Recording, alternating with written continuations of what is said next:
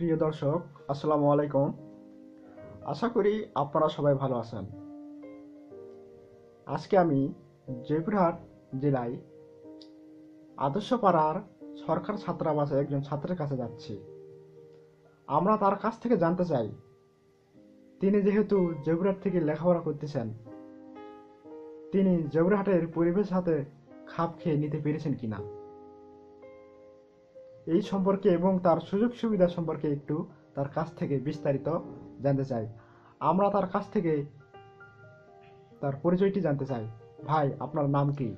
আমার নাম মোহাম্মদ মিজানুর রহমান মিজান বাসা মিঠাপুকুর রংপুর। আপনি কোন কলেজ থেকে লেখাপড়া করতেছেন? আমি মহিপুর হাজি মহাসেন সরকারি কলেজ পাঁচ বিপি জয়পুরহাট। আর কিসে পড়তেছেন? আমি অনার্স সেকেন্ড ইয়ার বাংলা ডিপার্টমেন্টে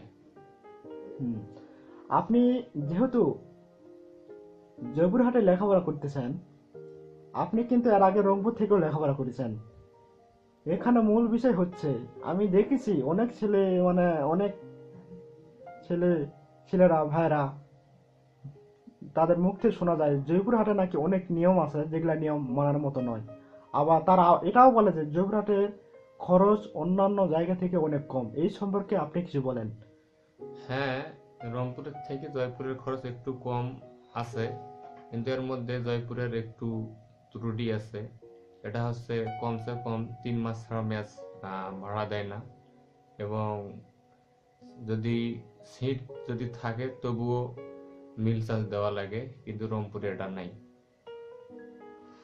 মানে আপনার কথা শুনে আমি বুঝতে পারলাম আমরা যদি ইচ্ছা করি রংপুরে এক মাসে থাকতে পারব। কিন্তু জয়পুর হাটে সর্বনিম্ন তিন মাস তিন থাকতে মাস হবে। থাকা লাগবে। আমরা যদি তিন মাস না থাকি তারপর ভাড়া দেওয়া লাগবে। মানে পুরা মাসের ভাড়া আমাদেরকে হ্যাঁ, দিতে ভাড়া দেওয়া লাগবে এবং মিল চার্জ দেওয়া লাগবে। আপনার কথা শুনে আমি খুবই দুঃখিত হলাম কারণ এরকম সমস্যা কিন্তু একটা বড় সমস্যা।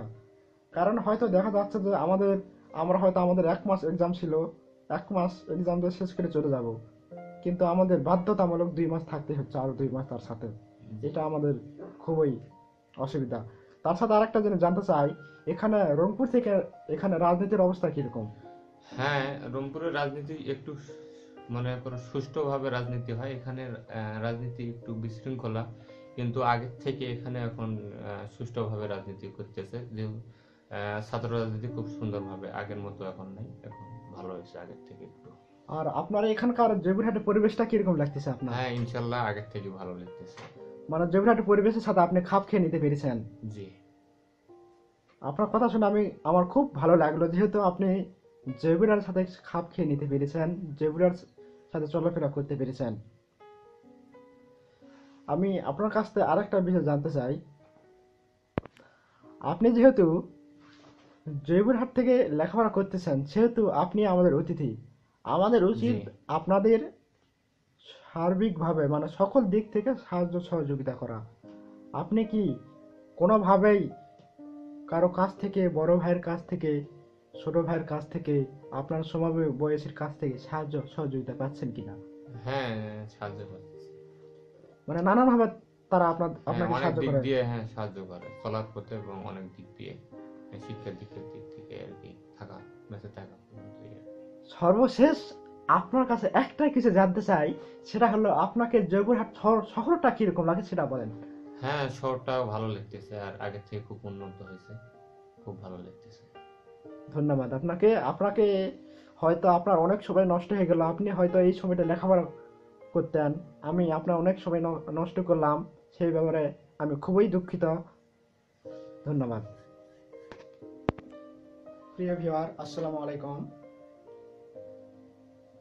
আমার চ্যানেল চ্যানেলে যারা নতুন, তারা আমার চ্যানেলটিকে অবশ্যই সাবস্ক্রাইব করুন। আর আমার এই ভিডিওটি যদি আপনাদের ভালো লেগে থাকে, অবশ্যই লাইক দিবেন এবং বেশি বেশি করে শেয়ার করবেন। আমি চেষ্টা করব সমাজের খারাপ, ভালো দুটোই দিকই আপনাদের সামনে তুলে ধরা এবং নতুন নতুন ইনকাম সাইট আউটসোর্সিং সাইট বিনোদন সাইট সব কিছু আপনাদের সামনে আমি তুলে ধরার চেষ্টা করব।